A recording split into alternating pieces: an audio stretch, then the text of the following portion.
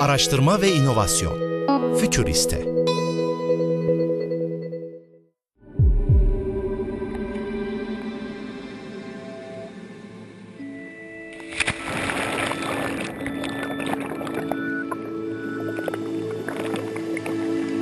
Elektronik parçalar gün geçtikçe küçülürken maliyetleri de ucuzluyor. Artık kıyafetleri iliştirilen parçalar birer giysi olarak işlev görebiliyor.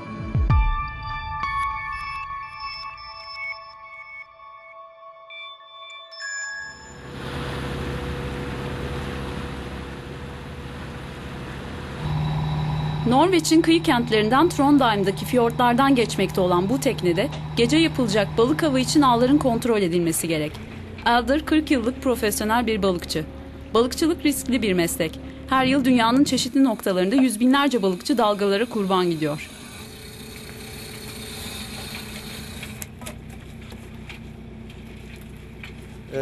Hava bozunca ve çok rüzgarlı olduğunda tekneden düşmek işten bile değil. Bu benim de bazı tanıdıklarımın da başına geldi. Kurtulamadılar. Düştüğünüzde tekrar tekneye çıkmanız çok zor. Kıyafetler ıslanınca ağırlaşıyor. Su ise çok soğuk. Elder'ın kaza anında tekne motorunu durdurmasına yarayan bir uzaktan kumandası var ve onu her zaman üzerinde taşıması gerekiyor. Tekneye geri dönemediğinde su yüzeyinde durabilmesi ve aynı zamanda yardım çağırabilmesi için de bir mekanizmaya sahip.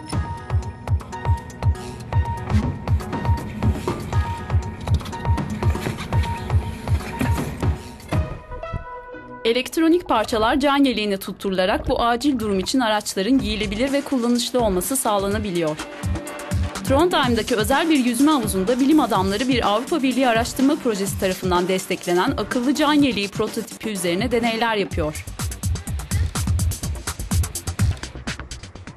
Akıllı can yeleği üzerine iliştirilmiş sensörler yardımıyla kaza anında şişerek suda batmayan, çevreye sinyaller gönderen bir mekanizmaya dönüşüyor. Görebileceğiniz gibi akciğer adını verdiğimiz bir parça bulunuyor. Şişirilmiş halde. Bu parçanın üzerinde gemiden düşüldüğüne dair bir alarm da var. Projenin asıl konusu bu elektronik parçanın giysilere nasıl entegre edilebileceği üzerine. Tasarım birçok araştırmanın sonrasında geliştirildi. Sensörlerin doğru yerleştirilmesi gerek. Suya batışta denizcinin üzerine sıçrayan suyu birbirinden ayırabilmek önemli. Göğüs üzerine yerleştirilen kaza anında şişen parçanın en güçlü dalgalarda dahi kazazedenin başını suyun üzerinde tutabilmesi gerekiyor. Akıllı can yeleği gemilerdeki alıcıya kısa menzilli sinyaller gönderen otomatik bir radyo ileticisiyle donatılmış. Bu sistemin gemiyi durdurmasına, denizcileri uyarmaya ve yardım merkezlerine koordinatları bildirmeye yarıyor.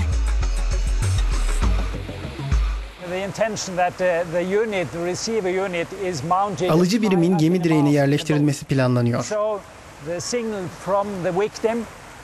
Kazazededen alınan sinyal her yöne yansıtılarak bu anten tarafından çekiliyor.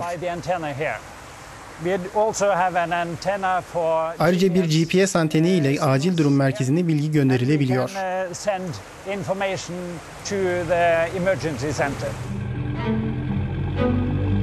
Buluşun sadece güvenilir olması yeterli değil. Çalışırken rahatlıkla giyilebilir ve temizlenebilir olması da gerekiyor. Diğer türlü balıkçıların bu yeleği kullanmak istemeyeceği tahmin ediliyor. Bu ilk prototip biraz büyük, daha küçük ve esnek olarak üretilmeli. Giysinin rahat bir parçası gibi olmalı. Balıkçılar bunun varlığını ve o güveni hissetmeliler.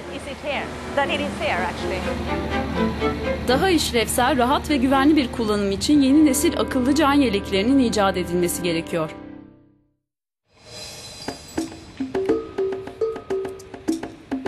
Bu kimya laboratuvarı da bu amaç için kuruldu. Bilim adamları yeleğin sadece su geçirme özelliği değil, kendini onarma özelliği üzerine yeni deneyler yapıyor.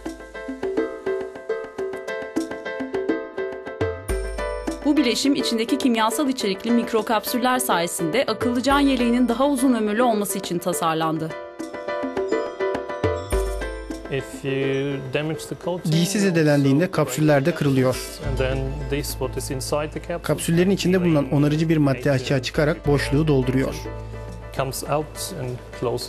Giysi yenilenmiş oluyor.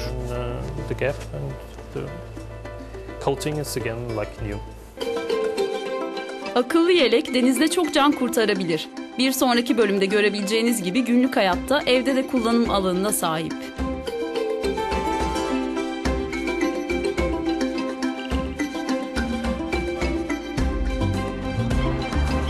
Hollanda'nın 5. büyük kenti Eindhoven'da araştırmacılar sırt ağrısına çözüm getiren mavi ışık saçan ampullerle donatılmış bir giysi geliştirdi. Sonuç satın alınabilecek yenilikçi bir tüketim ürünü. Bir parça kumaşa 40 tane led yerleştirildi. Alet oldukça esnek, bükülebilir. Ve şu gördüğünüz parçalı şerit vücudunuzun şeklini alıyor.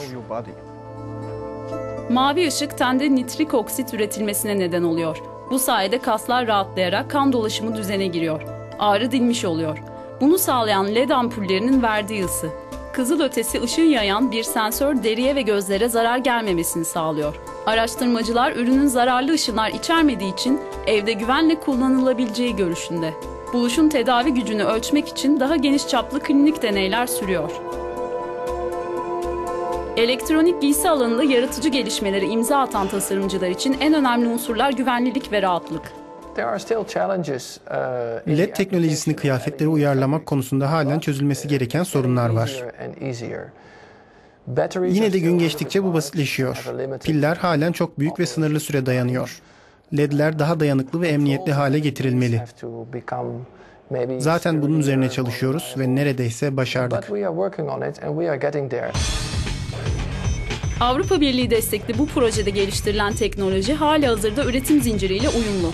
Bu elektronik tabanlı giysilerin üretiminin daha kolay ve ucuz olmasında önemli bir etken.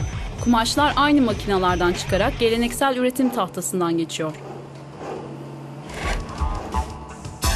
Isı sentetik dokuya zarar verebilir. Bu nedenle ısı iletici parça özel bir yapıştırıcı ile kumaşa entegre üretilen ince bakır telleri tutturuluyor. LED ampulleri ise oldukça verimli. Taşınabilir bir batarya ile yeniden şarj edilebiliyor.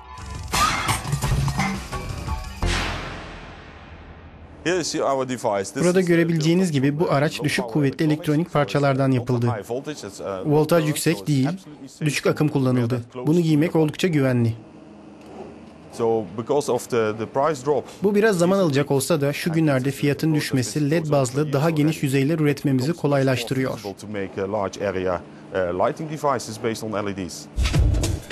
Elektronik kıyafetler birçok kullanım alanıyla hayatı kolaylaştırıyor. Sağlık ve güvenlik sağlamaları ise en önemli özellikleri.